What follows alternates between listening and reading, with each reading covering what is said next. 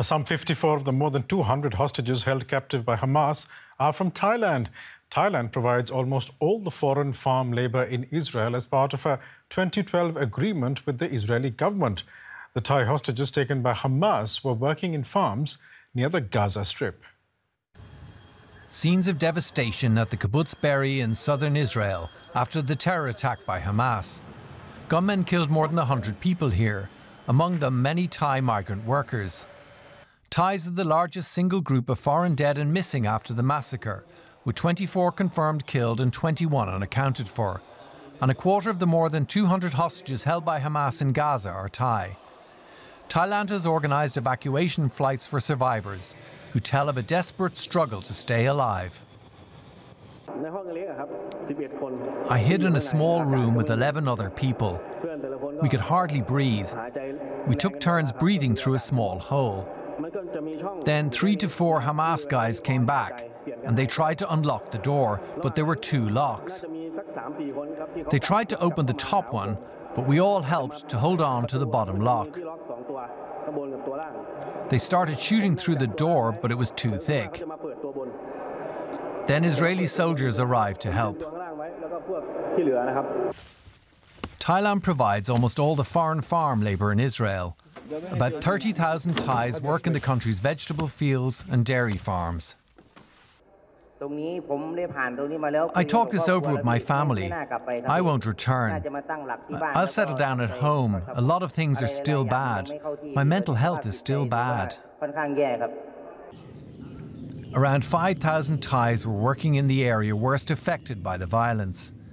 One of the hardest hit agricultural areas was at the Nir Oz kibbutz, where Thais were among the 100 people killed or kidnapped. Israeli volunteers have had to step in to keep the milk supply going. Most of the staff of the dairy farm were Thailandis, and they were massacred. Um, just comes to show, like the Hamas terrorists that came in, they killed everyone. There are fears that if Thais choose to stay away long term, it could have a devastating impact on the Israeli economy. For many from Thailand, staying away is not really an option. Often they'd had to borrow tens of thousands of dollars to go to Israel. These Thais may have escaped the gunmen, but now it's a tough choice between staying safe and securing their livelihoods. And joining me now for more context is Punatri Jia. She's an assistant professor of anthropology at the Nakhon Phanom University in eastern Thailand. Professor Jia how has news of Thai casualties in the Hamas terror attack been received in Thailand? Um, first of all, since um, early October this month, right, um, as the northeastern villagers all the Thai citizens, we are so sorry to hear about this news. It's a bad news, actually. Um, I think we were so shocked about the incident.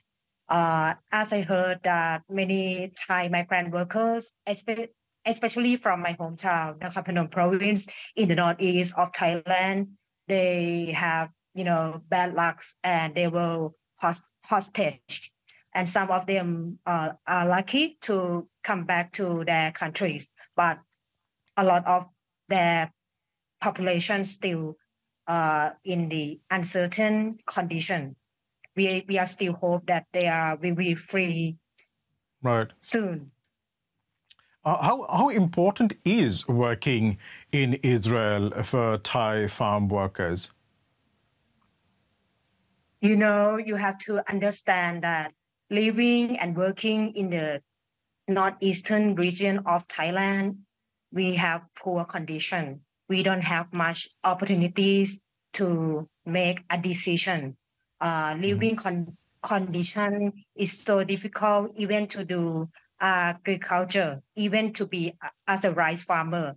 We have uh, been neglected by the Thai state, and don't talk about the social welfare. We are very poor with some of those resources.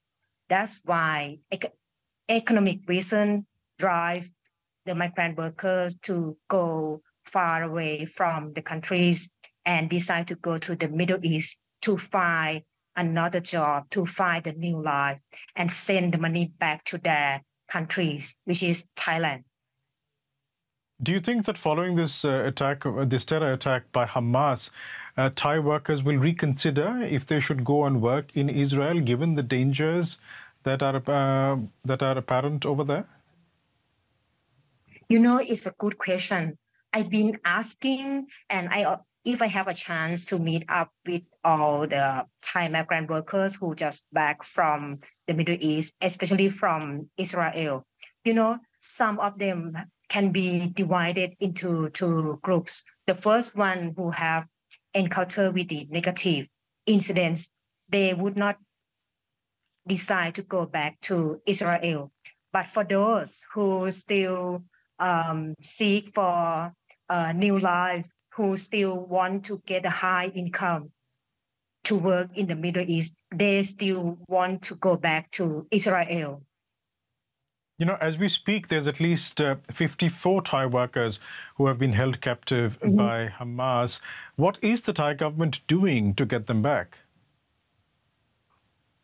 I think the Thai government, led by Prime Minister Srettha Thavisin and all the cabinet, I think they try so hard to try so many channels, so many ways to negotiate uh, as uh, I think they try to use two different levels of nego- negotiation. The first one is formal diplomatic negotiation, and the second one, which is the um, uh, prime minister and the minister of the foreign affairs, just uh, uh, spoke out to the media, to the Thai media, actually, that the Thai government also tried to use the informal negotiation try to send the representative of the Thai government back to Israel and negotiate with uh, representative of the Hamas group.